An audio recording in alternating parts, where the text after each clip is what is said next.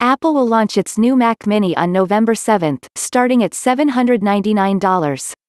Apple is releasing a new version of the Mac Mini on November 7, starting at $799. This is the first update to the Mac Mini since 2014, adding 8th generation Intel processors and Thunderbolt 3 support.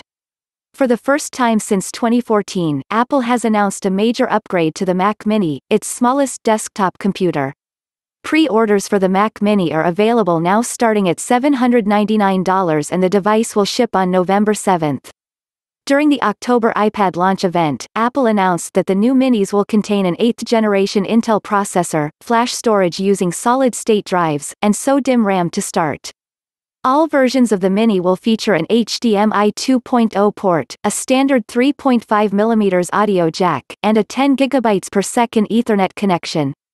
There are two standard USB-A ports on the updated model and the Mini will carry four Thunderbolt 3 ports capable of outputting to 4K and 5K displays.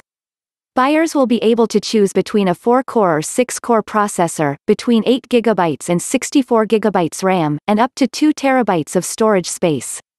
The Mac Mini will also make use of the Apple T2 security chip, allowing for better data encryption and faster video transcoding. Like the new MacBook Air, the Mac Mini enclosure is made of 100% recycled aluminum and many of the internal components are made using recycled materials.